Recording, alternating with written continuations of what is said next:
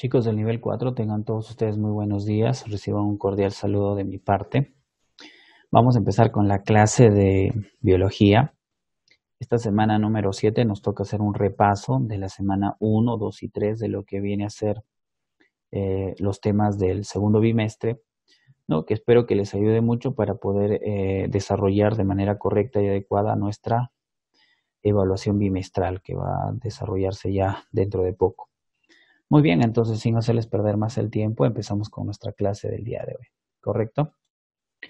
Muy bien, vamos a empezar entonces con la semana número uno, donde habíamos hablado justamente de lo que es el metabolismo energético, ¿no? Donde habíamos tocado temas como la fotosíntesis. Primero, vamos a decir que el metabolismo es la degradación o formación de moléculas con la intervención de energía. Hay dos tipos de metabolismo el anabolismo, que en este caso pues sería un metabolismo negativo y se le dice así porque se gasta energía cuando se va a realizar dicho metabolismo. ¿De acuerdo? Y en este caso ocurre que moléculas pequeñas utilizan energía para transformarse en moléculas grandes. Un ejemplo de anabolismo sería la fotosíntesis, donde moléculas simples como el dióxido de carbono, el agua, se van a unir y van a formar moléculas más complejas como la glucosa. Y también tenemos al catabolismo, que en este caso pues sería un metabolismo positivo en el cual eh, moléculas grandes se van a degradar, gastando, o en este caso al degradarse, se van a obtener moléculas pequeñas y en este proceso se va a ganar energía. O sea, mientras que en el anabolismo se gastaba energía, en el catabolismo se gana energía.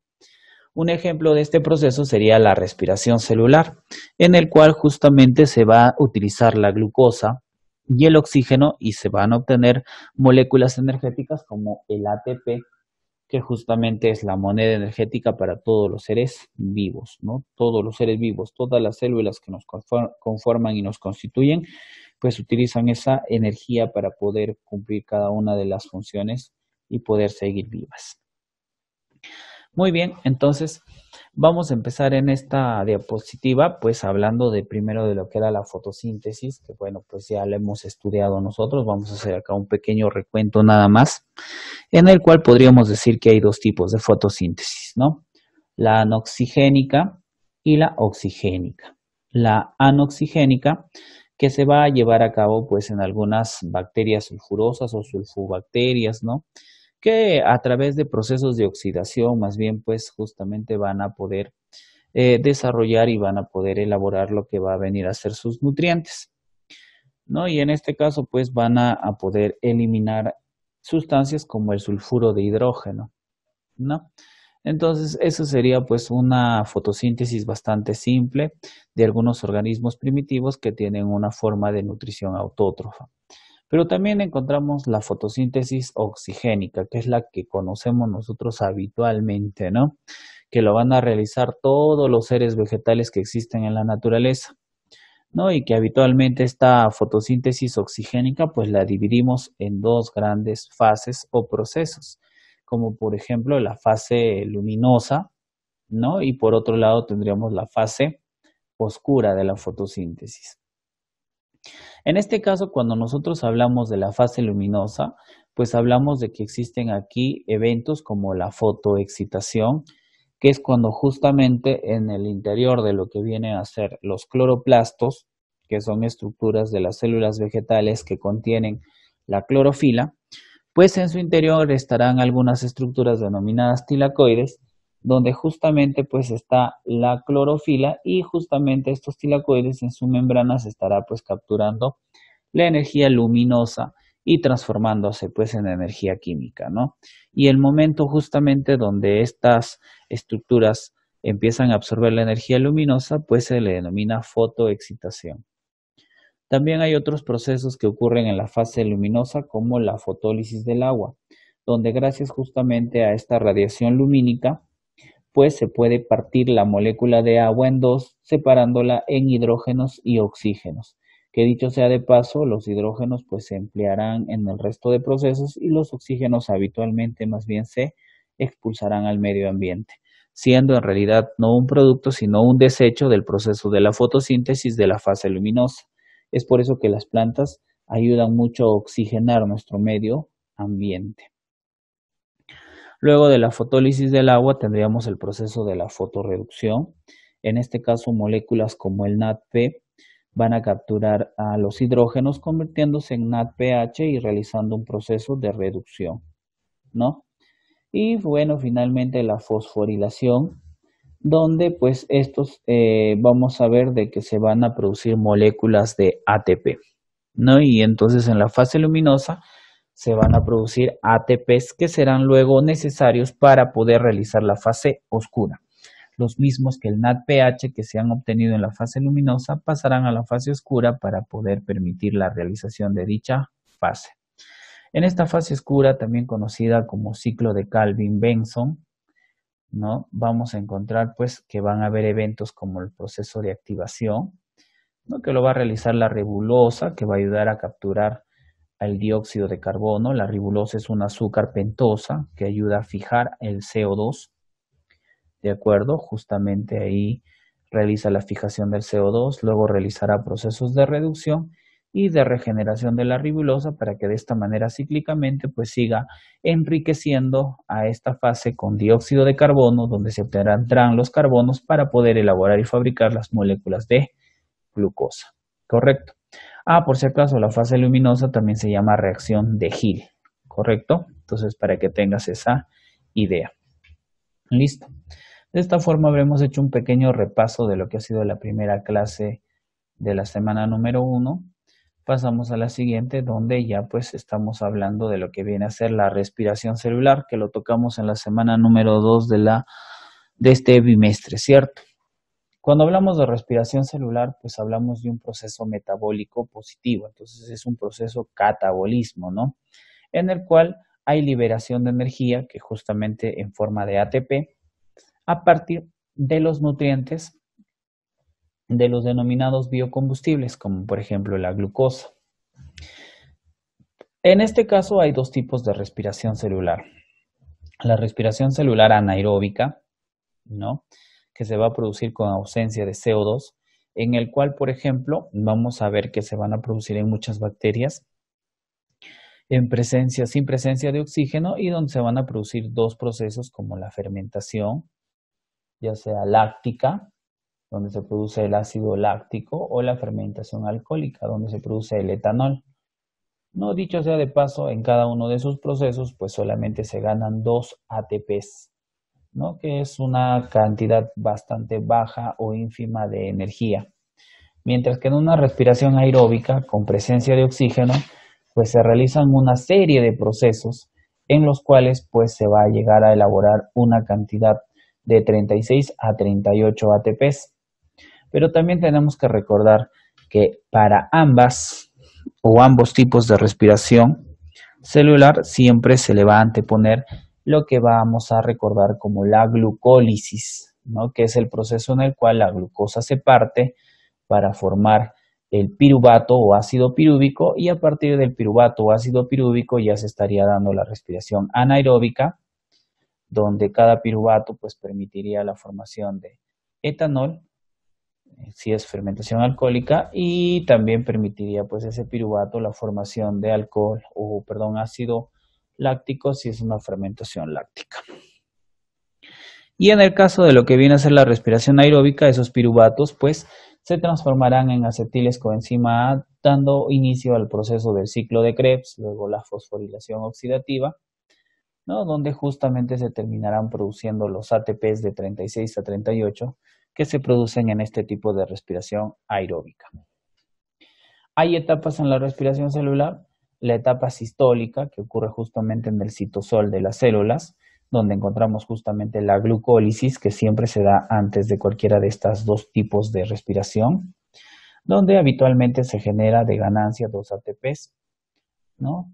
Y también tendríamos la fase mitocondrial, que se da en el interior de las estructuras de las mitocondrias, ¿no? Que son las estructuras o organelas que realizan la función de respiración donde en el interior de la mitocondria se llevará a cabo pues, el ciclo de Krebs, que permite generar dos ATPs, el transporte de electrones y la fosforilación oxidativa, que permite completar de 32 a 34 ATPs.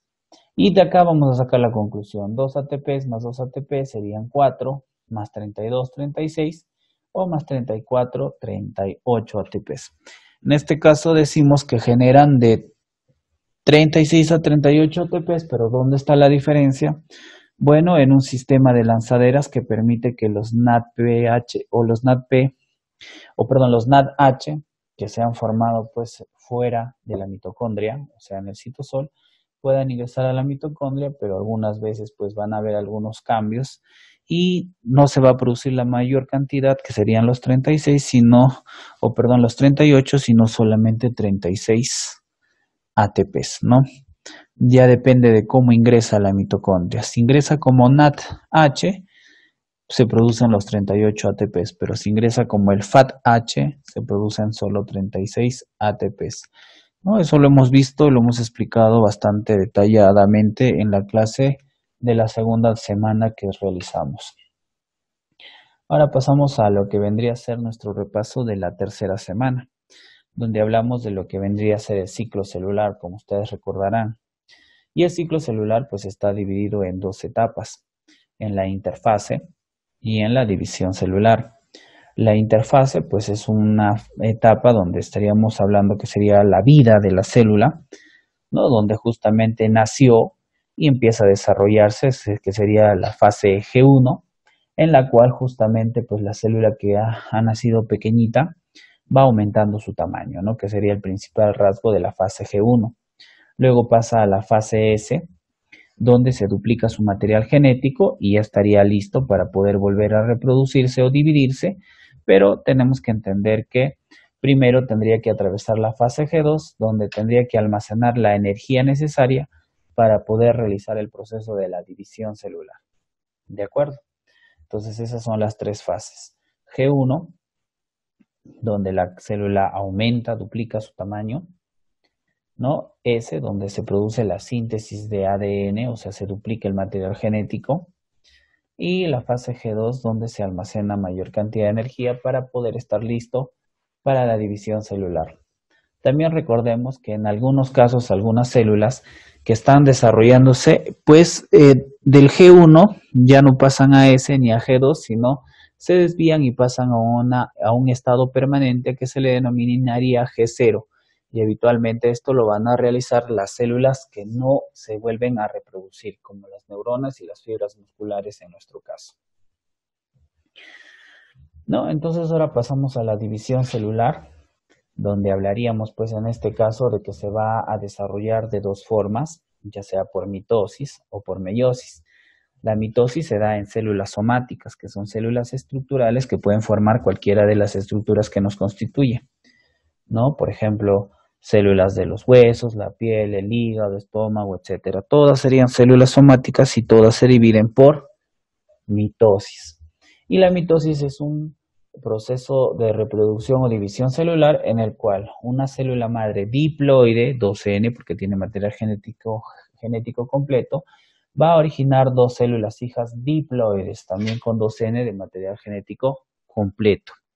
También podríamos mencionar y recordar que en la mitosis no hay variación genética, eso significa que las dos células hijas son idénticas entre sí y son idénticas con la que fue su progenitora, con la célula madre. ¿De acuerdo?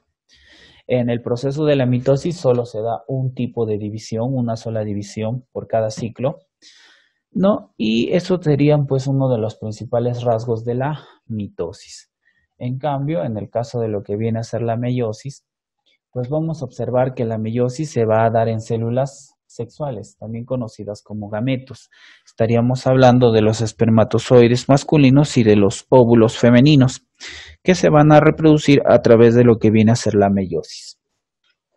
En este caso podríamos decir que una célula madre diploide va a dar origen a dos células hijas haploides. Haploides significa que tienen la mitad del material genético, solo N y estas en un segundo proceso de división originarán cuatro células hijas más haploides. Al finalizar todo el proceso de la meiosis, pues se han dado como resultado cuatro células hijas haploides. En este caso, tenemos que mencionar que estas cuatro células hijas son diferentes entre sí, o sea que ha habido una variación genética. son diferentes entre sí y diferentes a la progenitora, que inclusive pues tenía material genético 2N. Ahora esta solo tiene la mitad, ¿cierto? Esto ocurre justamente con los espermatozoides y óvulos, ya que ambos se complementan. Cuando se produce una reproducción, al unirse un óvulo con un espermatozoide, cada uno, por ejemplo, en el caso del ser humano, va con una carga genética de 23 cromosomas, dando origen a los 46 cromosomas o 23 pares que constituyen la estructura cromosómica de un ser humano.